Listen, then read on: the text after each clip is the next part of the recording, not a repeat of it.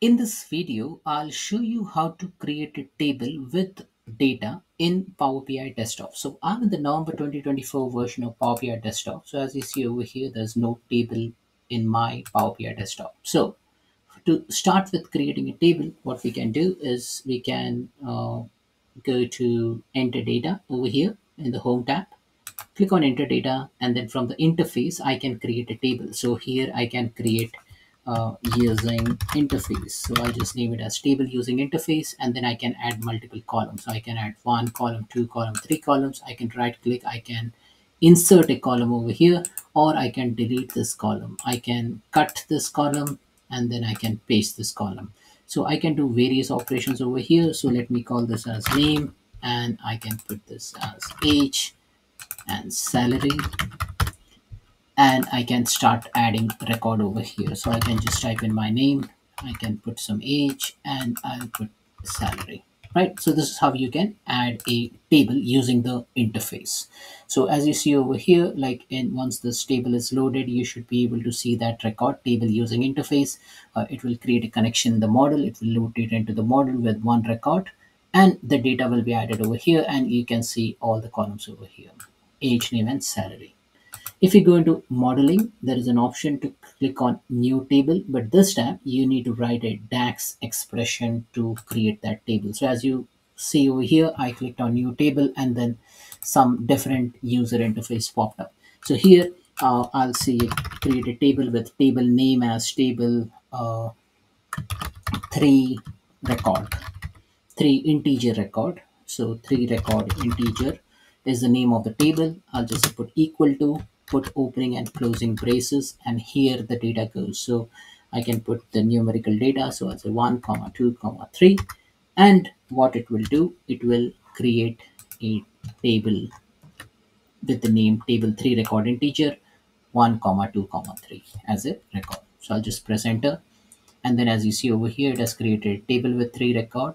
Uh, and then there is a column named as value if you want to see the record, going to the table view, you will see three records. So this is how we create, uh, have, we have created two tables, right?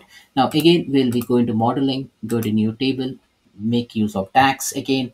I'll just say table dates. So here I'll say, I'll put some function, uh, like say I'll make use of a date function. So again, the syntax is similar. You just put uh, opening and closing braces and within that opening and closing braces, uh, we will just add the function okay so i'll say i want a date and now the date is say today's date so 2024 11 16 uh, and then this is that table with one record now if i want multiple record i can just go ahead and again add a record 2024 11 comma 17 so it will add two records of the type date if i press enter it will say table dates. So I've misspelled the table name. So I'll just write in table dates over here.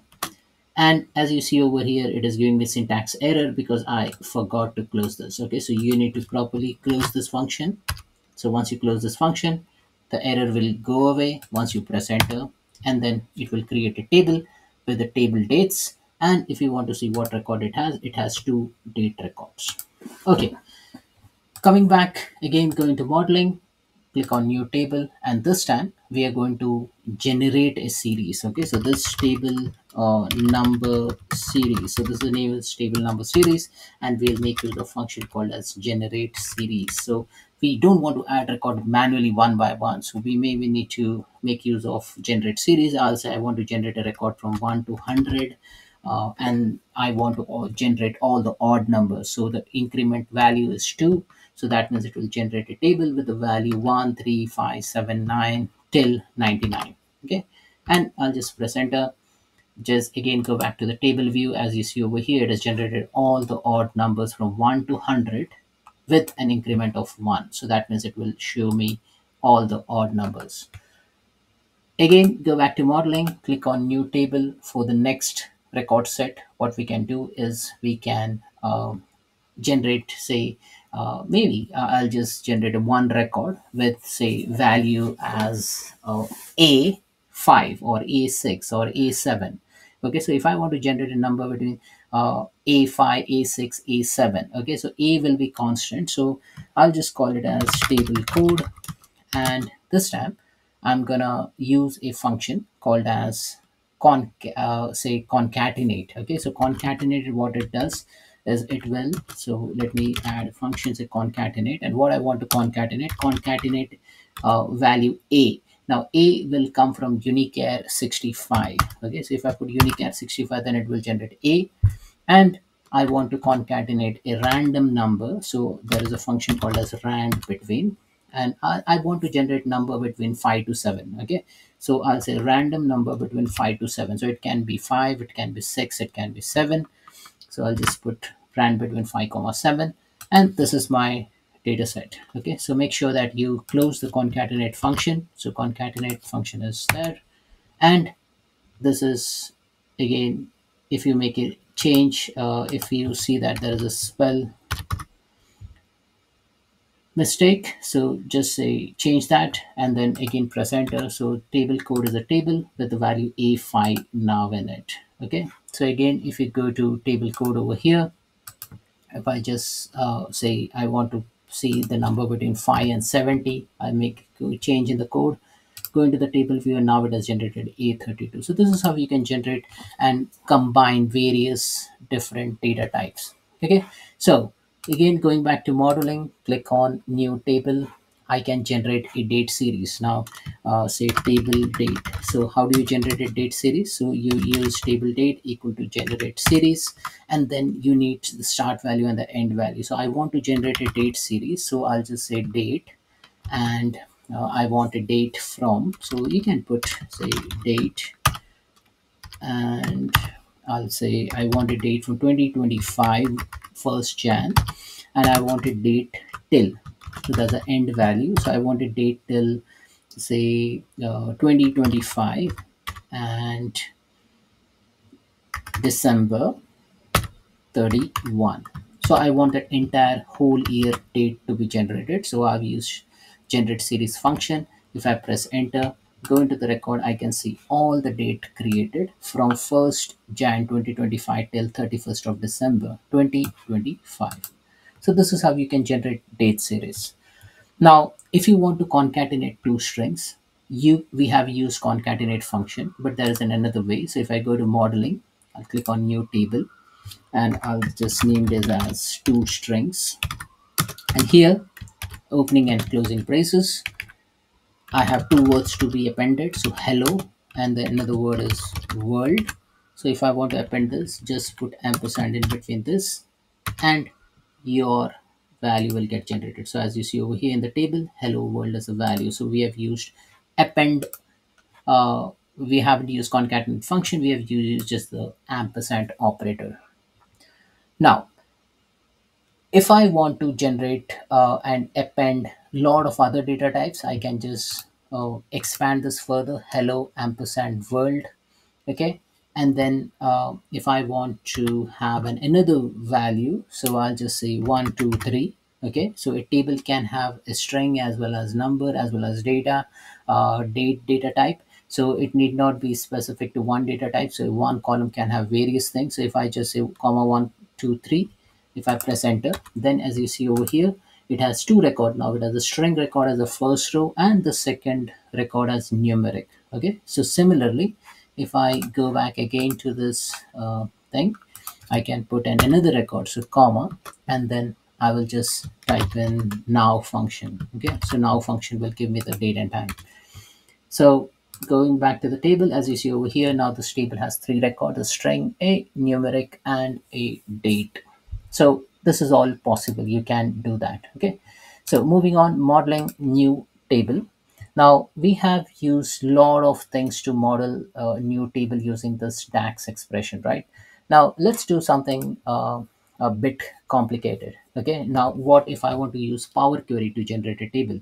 So in order to do that what you can do again go back to home uh, and go to transform data. Click on transform data over here and on the left hand side you should be able to create a query so i'll just click on right click new query and blank query so this is the query which i'm going to write so i want to create a table using power query so if you want to create a table using Power Query, what you can do is in that syntax. So if you see in this bar over here, you just type in equal to hash table. So what do you want to generate? So I want to generate a table. I want to generate a table with one column, table with one column, comma, and what value I want. I want nothing in it. So I just put opening and closing braces. So as you see over here, equal to hash table, one comma, and then no value in it. Okay, let's see if I put some value in it. So if I just put value 2 in it, it will not accept that. So you cannot use that direct syntax. Okay, so just remember this syntax. So equal to hash table, one comma, and then you have put some value in it, right? Now this has just defined the schematic for it. Okay, so if I want a table with say 10 columns in it, okay, so as you see over here, it has added table with 10 different columns. Now, what if I want to add some record in it? Okay, so how do I add a record? So simple, again, we will just go back to blank equal to hash and table. So this is how you add a table. And here I will say now I want one column and now the record which I want, I will put opening and closing braces. Okay. And within that, again, I will put opening and closing braces. And I will say I want a value as Girish. And I'll put a comma over here, opening and closing braces. So let me put opening and closing braces over here. And this time I'll say Uppal. Okay. So see the syntax you have opening and closing braces and then within that whatever data you want put that as an opening and closing braces press enter and then here you will see the name as Girish Uppal. So it has created table with one column and two rows in it. So this is how you create this. Now, what if I want to create two columns? Okay, so again, it's simple. So I'll just copy the code from here. So I'll just paste this. And as you see over here, equal to hash table first column, comma, second column, and then 1 comma 2 and 3 comma 4 so if i just press enter as you see over here first column second column 1 comma 2 3 comma 4 1 comma 2 3 comma 4 and this is how you can create a table using power query so we have seen user interface we have seen uh, data creation using dax we have seen data creation using power query now let's make use of uh, something called as an advanced dax okay now what is an advanced dax so let me get rid of this so let me create a new query over here so I'll just create a new query. Now, in order to do something in advanced DAX, you need to click on advanced editor. So if I click on advanced editor over here, it will give me an interface. It will show me an interface. And here I can write advanced DAX. So it has given me that placeholder let source equal to something in source. Okay. So you can just replace this double quotes with opening and closing braces and here you can start writing the value okay so I'll just type Australia in double quotes and then I will just type in France and here I'll just type in UK okay so let's source equal to in the opening and closing braces and in double quotes three records Australia France UK click on done and then it will create a list with three records so this is how you basically create uh, table with data in using advanced DAX. Okay. Now there are other things which you can do, like if you want to create something blank. Okay. How do we create that? So go into the query, click on advanced editor. And as you see over here, let source equal to Australia, France, UK. I want the same structure.